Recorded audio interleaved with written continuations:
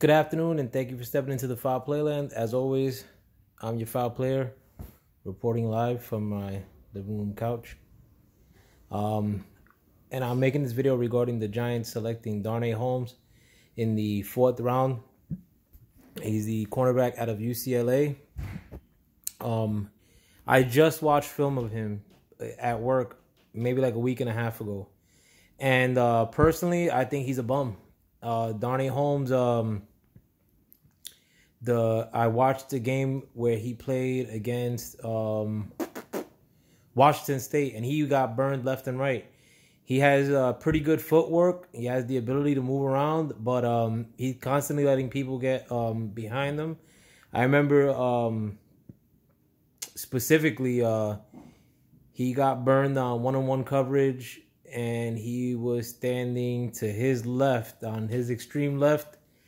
Uh, had more than enough space. Tried to pay the guy man, and there was a, a good amount of distance between them. The guy got right behind them, scored a touchdown. I saw people get behind them many times in that game. In fact, like three plays before that play, uh, somebody got right behind them. They could have scored a touchdown, but the quarterback um, didn't see it. But uh, I give this grade a D minus. Um, he has good footwork. Maybe they could coach him up. But we already have. I mean, at best, he's a slot corner, and um, we already have a slot corner on the roster. I think he's slated to be a special teams guy.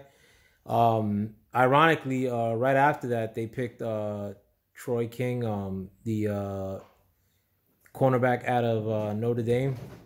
I thought there were probably seven better cornerbacks that were uh, available to the Giants at this pick. So um, hats off on the ground uh, to the Giants um, in a uh, disrespectful fashion. I think this pick sucks. Um,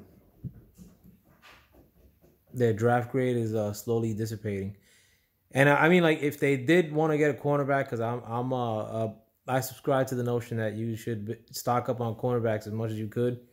Um, there were just better uh, corners available to them. Um, the dude's not a ball hawk. The dude doesn't look at where the quarterback is throwing most times. Uh, he's not doesn't have good perception. Um, I don't know. He has the physical tools, but actually he doesn't have. I mean, he has physical feet, but he's he's he's a small guy too. On top of that, if if uh, if he if Darnell Holmes weighs more than 190 pounds, I'd be surprised. But to take him with the first overall, with your first overall pick in the fourth round, when Tyler Biadasz was still there, um, Curtis Weaver was still there. They still haven't addressed the uh, edge rusher. It was, uh, I think it's a terrible pick, given the circumstances. But let me know what you guys think. With that, I'm out.